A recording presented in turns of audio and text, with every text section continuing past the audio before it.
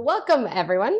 Today we'll chat a bit about what it means to extend the functionality for Aragon DAOs um, and what is this uh, protocol that we've released so that we can understand it better in its architecture and its processes and then build upon it. So firstly, let's talk a bit about what even is Aragon OSx. Um, if we look at the overarching architecture, we really see these two key sections play play their roles. And I'm going to start with the core contract specifically. So the core contracts um, are essentially those interfaces that the end user will really be dealing with, right? So this is the DAO, the DAO contract. Um, the DAO contract is the one that will hold all of the assets for DAOs. It's the one that acts in many ways as like the vault or the treasury or the of the organization. Um, and the one who's also managing the permissions and the permission library that that DAO has. So what we, what we mean with permissions is essentially um, how we've set up our architecture to protect malicious actors from being able to do anything everywhere and steal our DAO's assets and perform um, funky stuff with, with the DAO um, as a whole.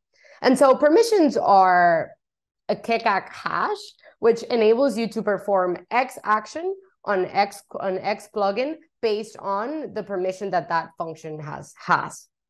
Um, we'll see a bit deeper what that means uh, when we get into the demo. But that's essentially the DAO interface. And then the other key uh, in interface that we have are the plugins.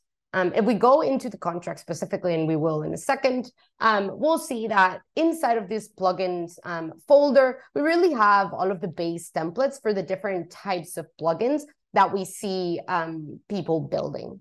Now we have non-upgradable plugins, upgradable plugins, clonable plugins, um, and we'll see different, different types. But essentially what we're building there is a base template so that um, developers can simply build on top of it and we take care and abstract away some logic to make that development easier and faster. Now, like I said, these core contracts are the foundation, right? This is what um, anyone in the end users will actually be seeing but in order for these uh, two two sections to fold to behave accordingly, they really need the framework that powers them. And so the framework we can imagine it as kind of like the creation factories the registries um, the installers it's it's all of the services that like the backend uh, sort of section that empowers the interface to live to its full potential um, so when we look at our, at our framework contracts, we also have them divided by DAOs and plugins.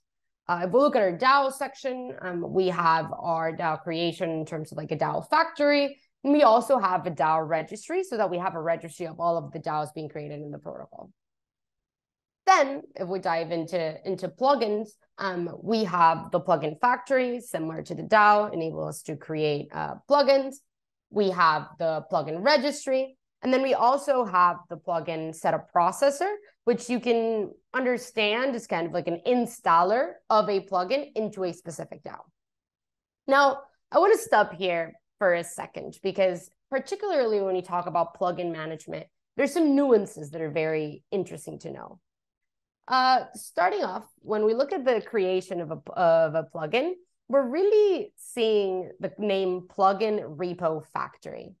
And this is interesting because I'm speaking about plugins, but then what I'm the factories for a plugin repo, what what does that mean?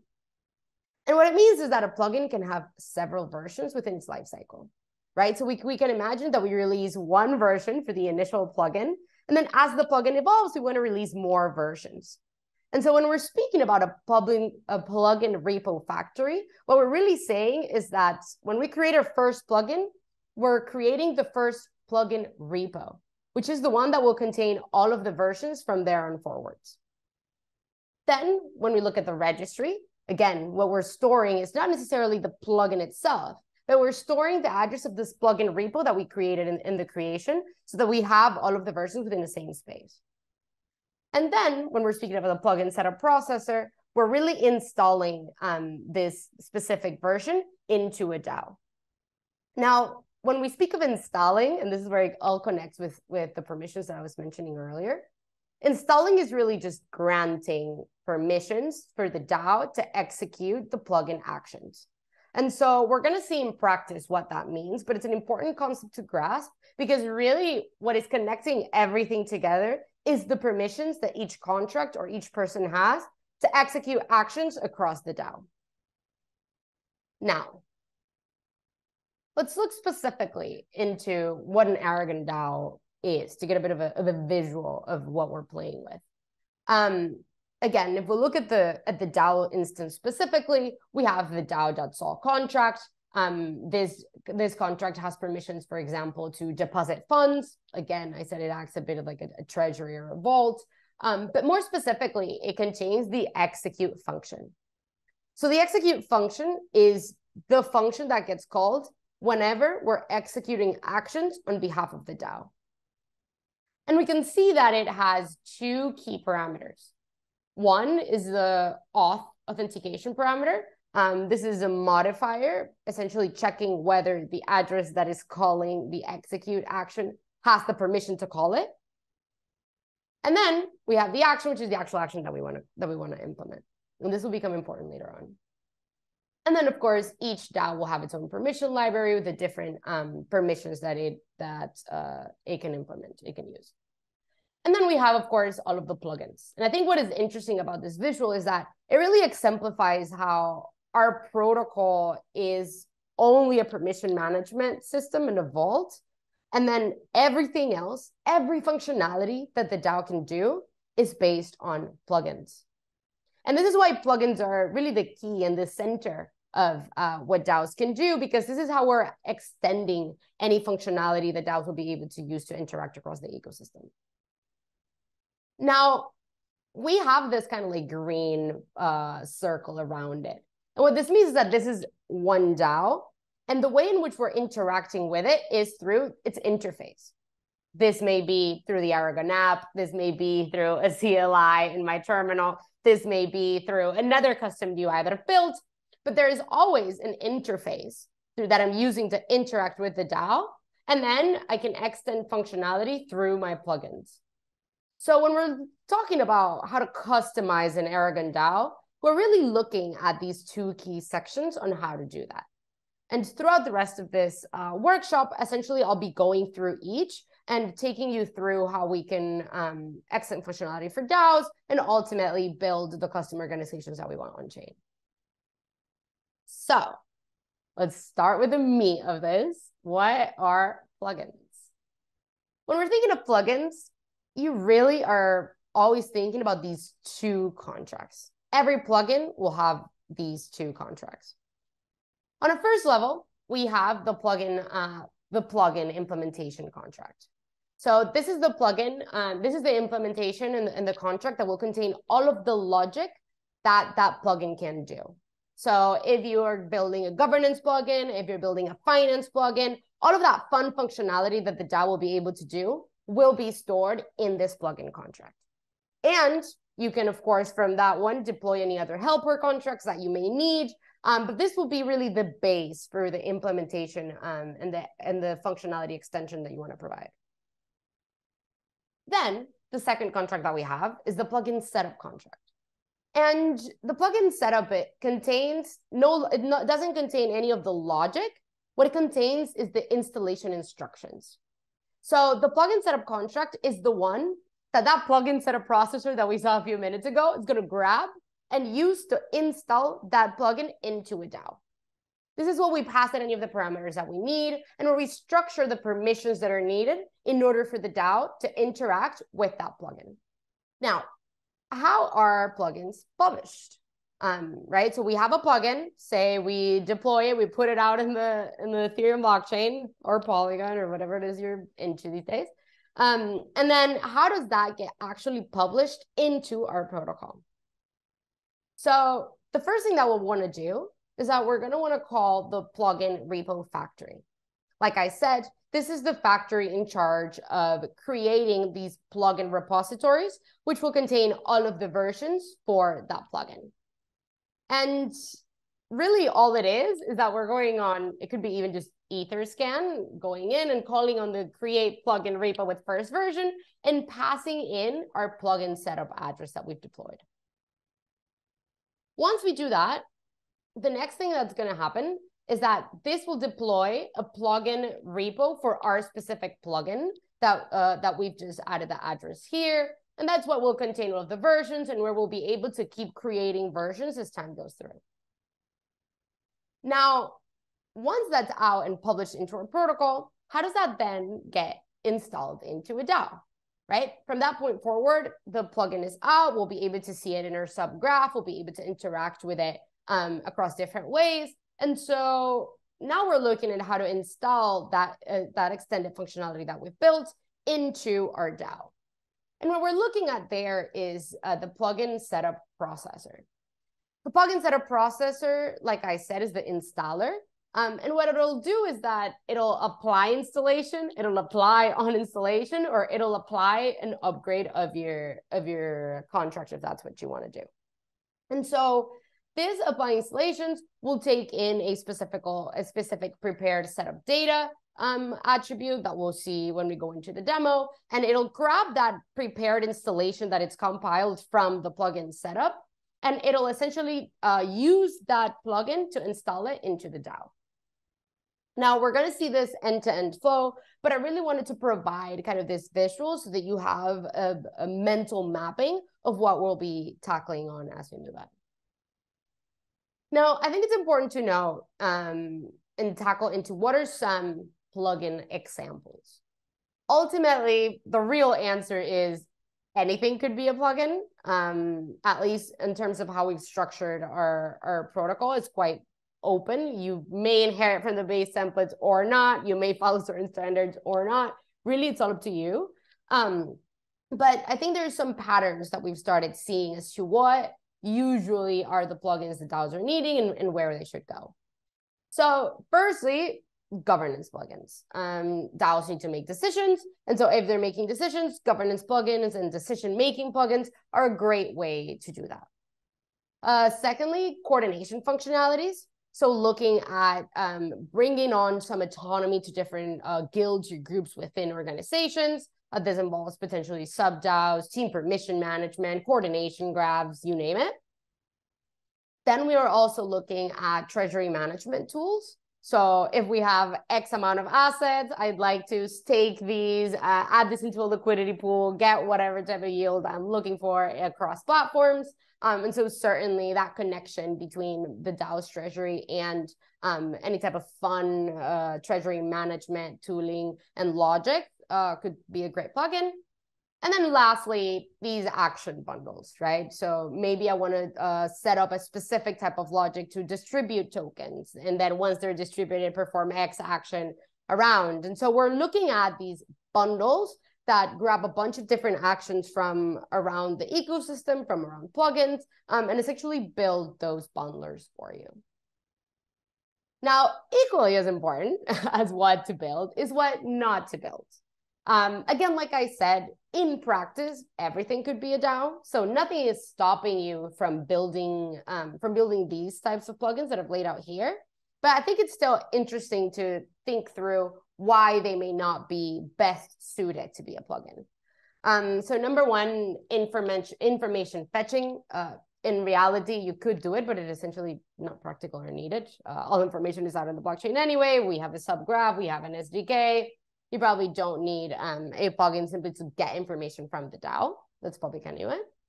Um, and then connections with other contracts. Uh, certainly within your plugins, you could uh, call on contracts from around the ecosystem, but it'll probably be easier just through our interface or through a bundling actions um, to call in those contracts. And so they're not necessarily the ideal use case for it because there's other simpler ways uh, to do this.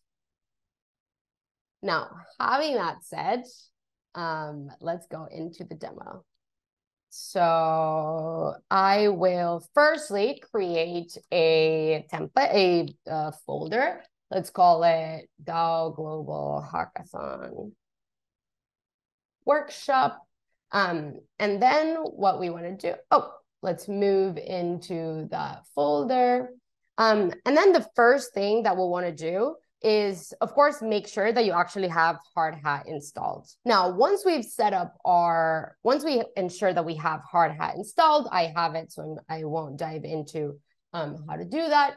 Then we're going to go into how to create a new Hardhat uh, project. So first things first, we go in, we create, we do npm init. Um, as you may know, for those of you who are JavaScript uh, engineers in the room, so npm init, all it does is that it's creating us a package, uh, the JSON file that will allow us to start um, installing some packages and, and building out our repository. So package name, let's call it that. Let's just, you know, make it easy, all of the defaults. Um, and if we go inside now, we have a package.json file. If we see what that package.json file holds, it is essentially a JSON with the parameters that I've just set up above. Nice. So next step, after we have the uh, the folder initiate initialized, we want to um, install Hardhat into it. Now, by installing the Hardhat package in here, will it will allow us to then be able to generate a Hardhat project, which is how we'll start building our plugin. This will take a bit. Um, so as we move forward, let me just take you through a bit of what we're going to do. So we're going to go and call in the Hardhat function that will essentially generate us this empty Hardhat config file. So for those of you who may be new to Hardhat or Solidity, um, the Hardhat config file is how we set up the configurations for our Hardhat environment to run, um, as well as any configuration that we may want to use if we want to go into another environment, like say Mumbai, uh, Goerli, Mainnet, etc. So we have this done. Um, we call then in this npx hardhat uh, command we create a TypeScript project, set up the root. We want to gitignore. We want to use the Nomic Foundation Hardhat toolbox, and that'll generate the project for us. Um, if you're intrigued, the Nomic Foundation Hardhat Toolbox is a set of plugins that uh, the Hardhat team has built so that we can speed up development. Um, it includes certainly like a, a, smaller template. It has some deploy function. It has a base contract. So it's essentially a way for us to um, have already some foundations laid out for us to begin the fun. Another Hardhat project is created. We can go ahead and uh, check out our VS Code and start playing with it. Now, so if I go into my Hardhat project, I see that I have a contract. Again, this is a contract that they've set out for us. Um, we have the deploy script, which deploys that contract that they've laid out. We also have our Hardhat config file, which is that environment file that I was telling you about earlier. Um, we have the package JSON that we set up when we first started um, as well as the packages installed and um, a TypeScript configuration so that we can use TypeScript within our project. Now, because we're going to be using um, these base templates from Aragon to build our plugins that I was telling you about earlier, then really the next thing that we want to do is that we want to install um, the Aragon uh, plugin package so that we can have it within our project. So I'm going to go npm install Aragon OSX and that'll bring me uh, or enable me the functionality to call into our contracts throughout our project. Now, to give you some context, uh, what we're going to be building is very simple plugin. It's just going to be, you know, your classic hello world type of plugin where we're going to set up a greeter um, that returns hello world. Now, through doing this, we'll be able to see the structure of a plugin of a plugin contract, the structure of a plugin setup contract, some best practices and things to keep in mind, as well as go through the deployment script. And if we have time, uh, ideally also set up a, a Goerli deployment. So now that we have their packages installed, we can get ready to play with our greeter contract. So I'm going to delete this one for good measure and I am going to create a greeter plugin.sol contract. Now, like every time we play with Solidity, first thing to do is to add in the license.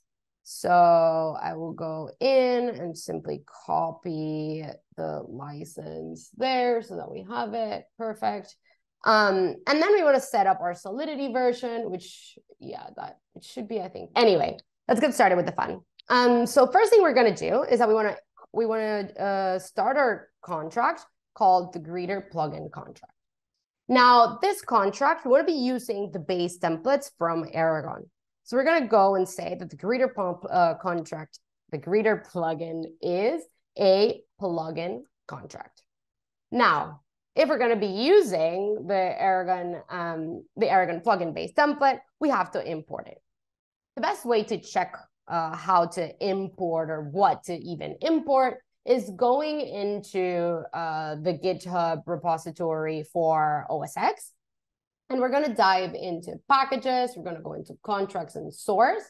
And from here on forwards, this is the path that you'll follow to get your your um your addresses to impact to get to import the, the code. So we want to tap into the plugin. Now, where do you guys think this plugin folder and base template will be? Based on that uh, image that I showed earlier. If we're looking at um, where we are within our architecture, we'll see that because the plugins are an interface that uh, end users are dealing with, we'll find our base templates for plugins directly within our core contracts folder. That means that if we go into our GitHub, not we're not going to go into plugins. Plugins here is uh, a combination of the plugins that we've built for the protocol already. So it's a great place for inspiration if you're looking to build your own plugin. Um, but what we want to be going is into core, then dive into plugin. And here's where we'll find all of the different uh, base templates for the types of plugins that you may want to build. Um, now we have different types. Uh, today we're only going to go through the most basic one. Um, and so if you see the template, it is still quite lean. Um, there's not much to it, but what is there will help us abstract logic in a way um, to ensure its safety and to ensure that we're interacting with the plugin in the right way. So we'll have acts. The, the most important thing to know is that within our constructor, we're setting up already the DAO that this plugin will be interacting with. This uh, IDAO interface is a DAO um, interface that we've laid down. And so it'll allow you to use this DAO and have a, a getter DAO function within your plugin as you're playing with it. Um, the other important thing to know is that it has a DAO authorizable. This DAO authorizable imports that auth modifier that I was speaking about earlier. This is the auth modifier that uh, ensures that only the addresses with a specific permission are able to call on that function.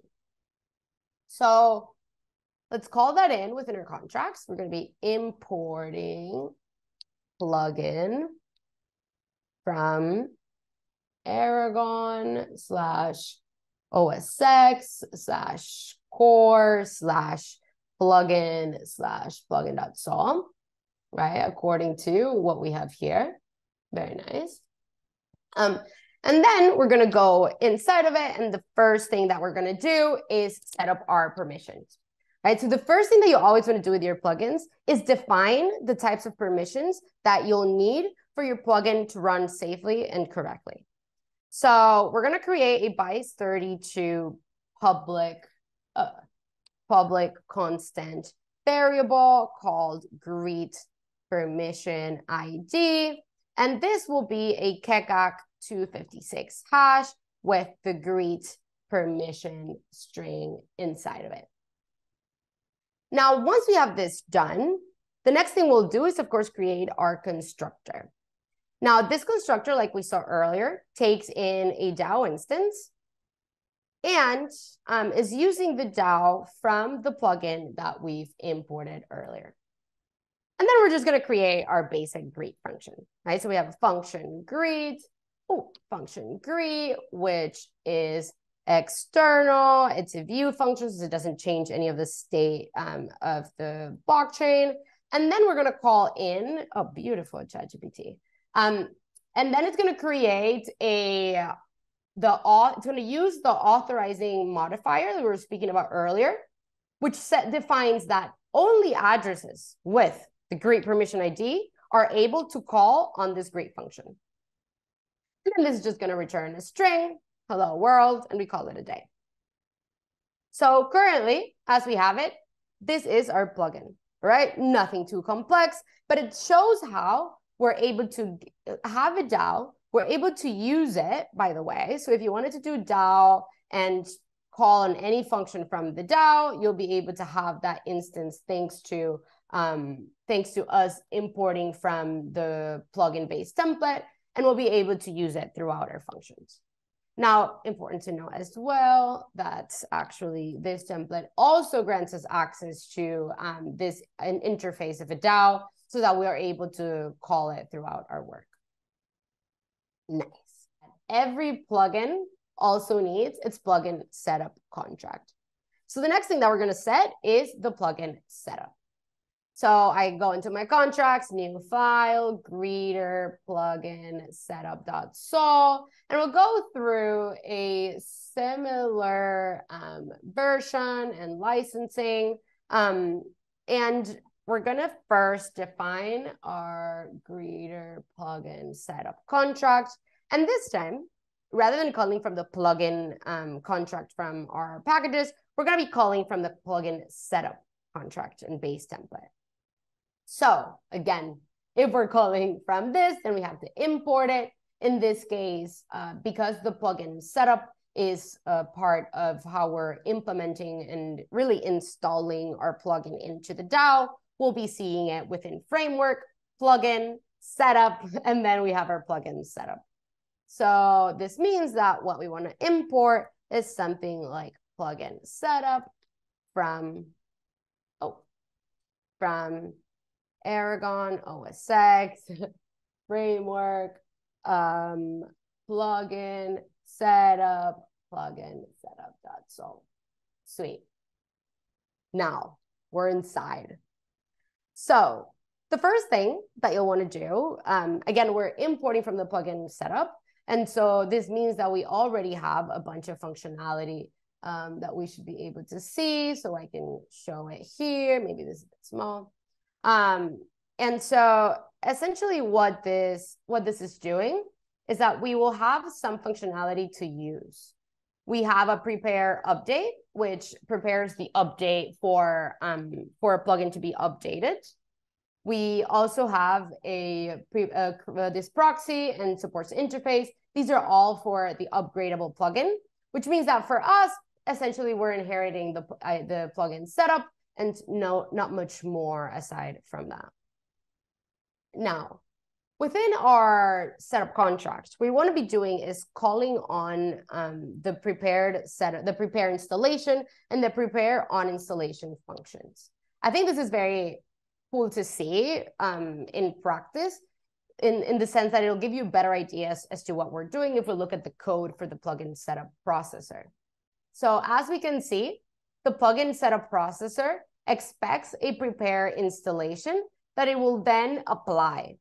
And so what it applies is to a DAO the certain parameters that have been passed in the prepare installation function. And that's really what we're going to be doing. So we're going to be adding here a function called prepare installation, which takes in the address of the DAO we want to install the plugin into, as well as um, a data attribute in case we want to pass in some call data uh, when we're preparing our installation or creating our DAO. We don't really need this in this case because uh, we're not passing in specific parameters to our uh, plugin creation, but it may be super useful later on. And the plugin setup expects a, a parameter to be passed there. And then we're going to define the attributes of this function. So it'll be external, meaning it can be called by um, external contracts. And then we're also going to be passing in the address of the plugin that we want to be installing, um, as well as, sorry, we're going to be returning the new plugin that we've, uh, that we've uh, prepared, as well as the prepared setup data, which is a interface uh, defining the type of return um, object that we're going to be returning. So let's call it prepared setup data. Now, because we're defining it here, that means that of course we need to import. Um, and if I'm not mistaken, within our plugin contract, we should have imported already, which means that we don't need to do the importing ourselves, uh, which is really nice. All right. Yeah. Cool. So let's dive into the implementation of this function. First thing that we want to do is deploy our plugin. Now, this is key because if you're looking at, um, again, our slides from the presentation, we'll see that really what the plugin, the, what the attribute that the plugin repo factory takes is, oh, is the plugin setup address, which means that from an Aragon protocol perspective, all we have is the plugin setup address. We don't have the specific plugin implementation. And so the plugin setup contract is the one in charge of deploying that plugin implementation for the Aragon DAO. So first thing we want to do when we're speaking about installation is go ahead and define that the plugin equals to the address of exact of the yeah of the new um, greeter plugin contract, which is a DAO as defined in our interface. All right, now, now that we have our plugin address, then we want to start playing with um, adding in the permissions to our to our DAO to be able to interact with this plugin. Again, going back to that uh, comment I was saying earlier, when we're speaking about installation, what we're really speaking about is about granting these permissions. So because we're using the Greeter plugin here, we're going to have to install it above so that it has access to the Greeter plugin. So beautiful. So the first thing that we want to do is that we want to be tapping into the permission library of that specific DAO. Remember I showed you earlier and um, that each DAO will have its own permission library, which defines the permissions that that DAO can interact with. So we're going to uh, call in the permission library of that DAO. We're going to import it in a sec. Um, and from that permission library, we want to be setting a multi-target permission which will be stored in memory as a, a, a multi-target permission type, which will be stored in memory as a permissions array filled with um, beautiful, filled with uh, permission library, uh, multi-target permission types. And it'll only uh, have one storage since the we only have one uh, permission set within our plugin. So through this, we're essentially setting up the storage space so that now we can fill it, fill it with the actual information that we want. So I'll go ahead and I'll call on this new array that I've created, go into the first um, location, which should be the only one that we have. And I'm gonna call on the permission library, multi-target permission to create a new object of this type. And inside of it, we're gonna take uh, certain parameters that are key when we're defining permissions. Firstly, what do we want to do with that permission? Do we want to grant it or do we want to revoke it? And in this case, because we're speaking about installation, we want to grant it. We're going to go into operation, permission library, operation, grant. Then the second thing that we want to do is define where that permission has access to, right? Where does that permission even matter, right, across the contract world? And so when we're looking at where, we're really speaking about our plugin contract, right? That's where this permission can take some action. Who can use it? The DAO contract that installs the plugin. Does it, does it need any specific condition for running? No, it can run without any conditions. And then which permission are we actually talking about? And this is where we uh, tap in again into our Keccak hash uh, with our greet permission string, enabling, oh, enabling us to um, access our permission. And once that's done, we see that we need to return um, the prepared setup data variable. So all that we do is we call the prepared setup data uh, variable, and within it, we'll have an uh, array called permissions, which is now filled with the permissions we've laid above. Now, when we're looking at the the uninstallation function, it's actually quite similar, except rather than granting, we're revoking.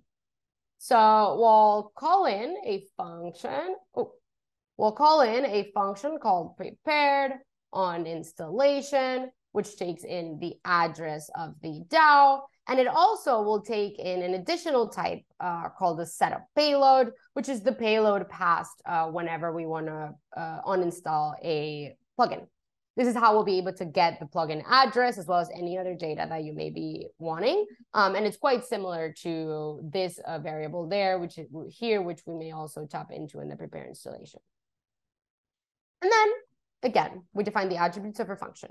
It is external, it is uh, pure, and it returns a permission library multi-target permission, um, which should be stored in memory, and we can simply call it permissions. So this, oh, fuck.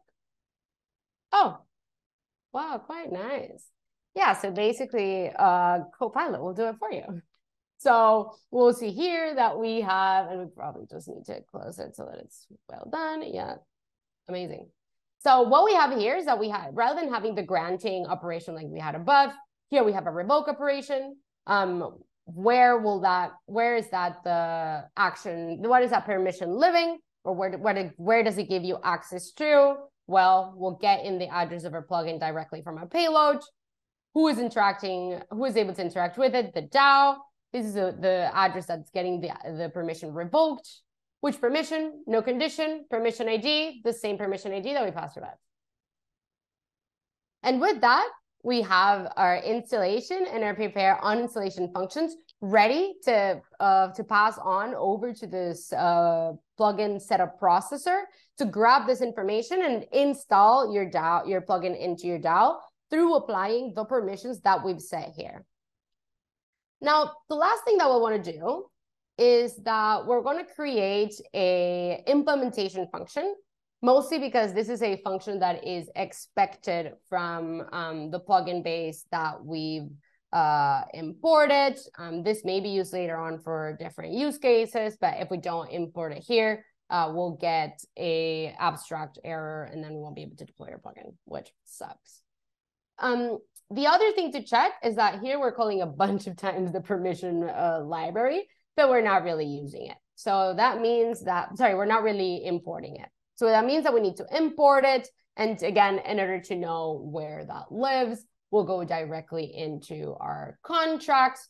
Um, and if we look at the graph here, we see that the DAO is the one containing the permission manager. So I'll go into core, I go into DAO, sorry, I go into DAO and I see my permissions. And then here's the permission library that we've been chatting about.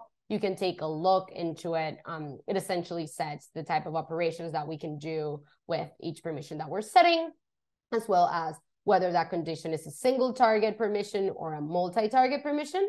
Um, single target permission will save you gas but ultimately the multi-target permission is a more generic one for for most use cases which is why I've, I've chosen it here for you to take a look at all that you can actually do so we know that this is where we have to import our permission library from so we'll go ahead and import permission library from aragon osx core permission permission library dot solidity this is good.